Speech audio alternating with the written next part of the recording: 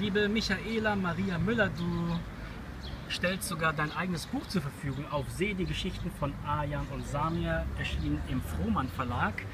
Warum bist du der Meinung, dass dieses Buch ähm, die Welt verändern kann?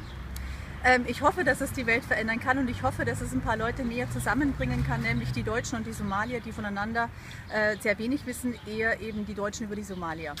Was hat es denn bei dir verändert, nachdem du dich auf die Recherche begeben hast?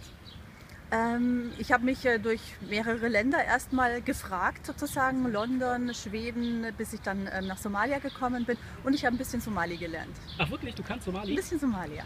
Und äh, gibt es da auch so drei Artikel und äh, nee. Plusquamperfekt und so weiter? Zwei. Aha. Ja. Und es gibt tolle Schriftsteller, vor allem tolle Dichter, politische Dichter, die ähm, der Welt viel zu sagen haben, wenn sie dann übersetzt werden würden, was ich hoffe. Sag mal einen Namen. Oder?